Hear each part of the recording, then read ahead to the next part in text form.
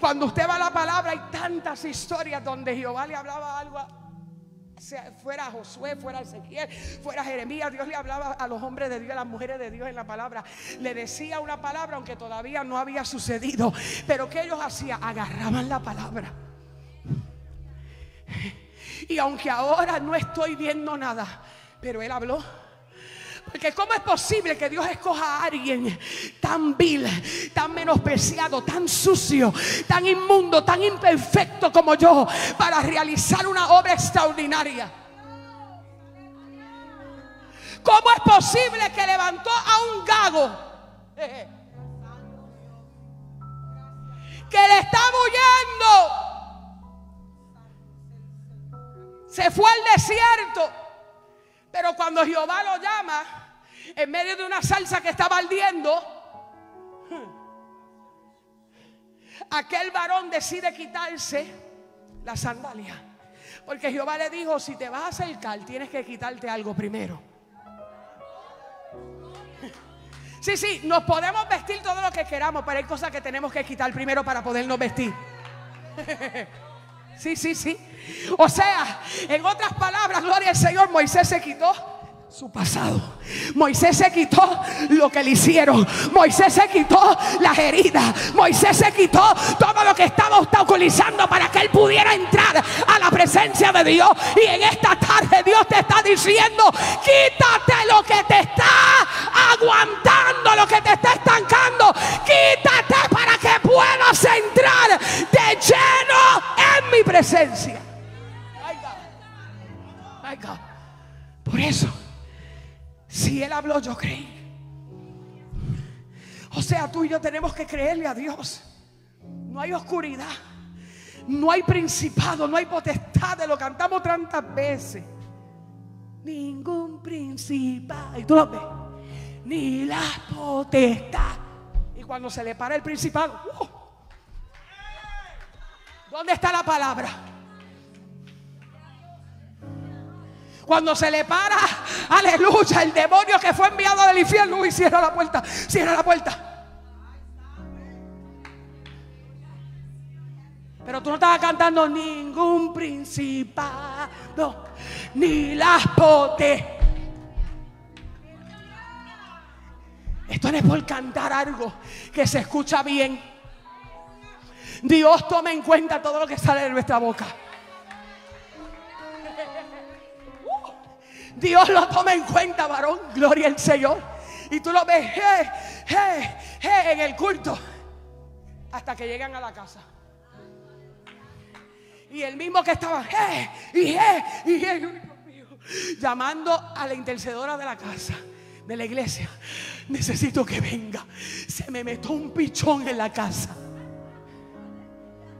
He aquí os doy potestad para hollar serpientes y escorpiones. Esa es palabra. He aquí os doy autoridad para reprender, para echar fuera los demonios, para poner las manos sobre los enfermos y van a sanar. ¿Dónde está la palabra? Esto no es que tú te pongas en la moda como los demás.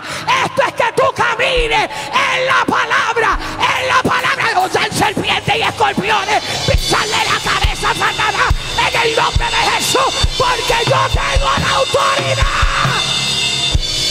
¡Ay, God!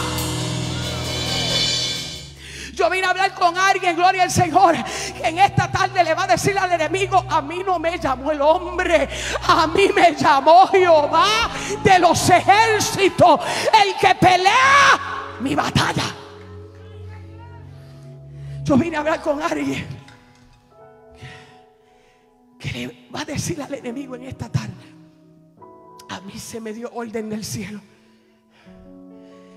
a mí me dijeron que me vistiera para celebrar mi milagro.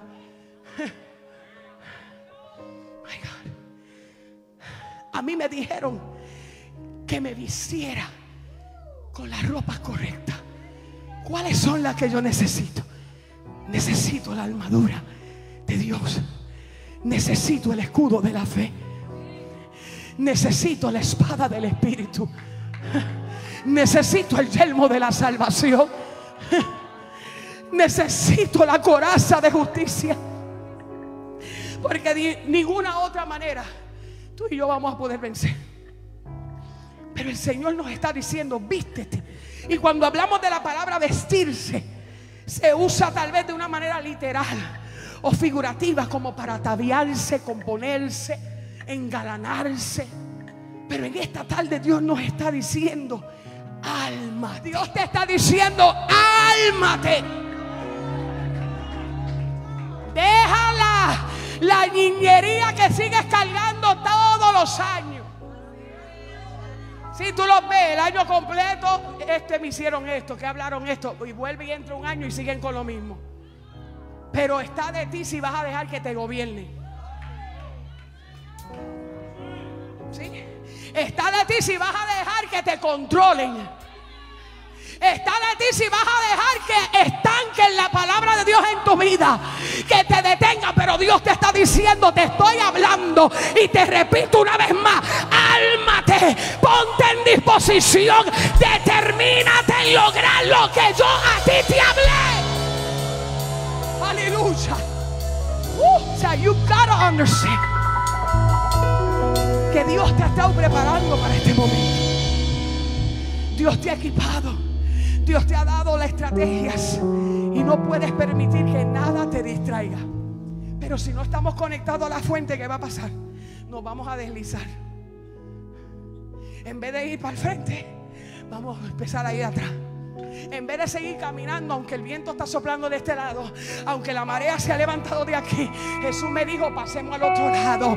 Pedro tuvo la valentía, como muchas veces nosotros la tenemos, para caminar en la palabra hasta que vemos los vientos, hasta que vemos los conflictos espirituales, hasta que vemos que el mal comienza, hasta que vemos a don excluidón, aleluya, como lo vio Pablo cuando iba de camino a Roma. Alabado sea el Señor. Pero qué bueno que cuando un hombre y una mujer ve ese movimiento. Dice, tú tienes, tú tienes tu tiempo, haz lo que tú quieras, sopla como tú quieras, muévete como tú quieras, porque a ti se te dio orden hasta un tiempo, pero a mí se me dio una orden también. Y es pasar al otro lado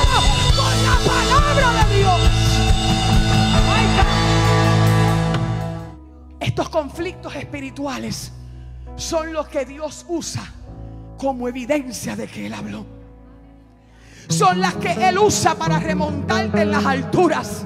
Son las que Él usa para permitirle al Espíritu que haga tus pies como de sierva y en las alturas te haga caminar. Son los que Jehová permite para adiestrar tus manos para la batalla son las que te están testificando de que my God is up to something.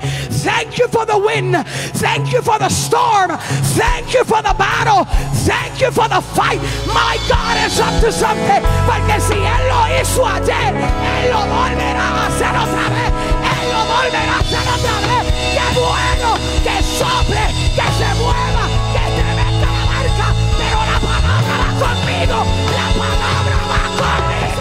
que tú te levantes y le digas, Señor, voy a pasar, voy a pasar, voy a pasar, voy a pasar, voy a pasar.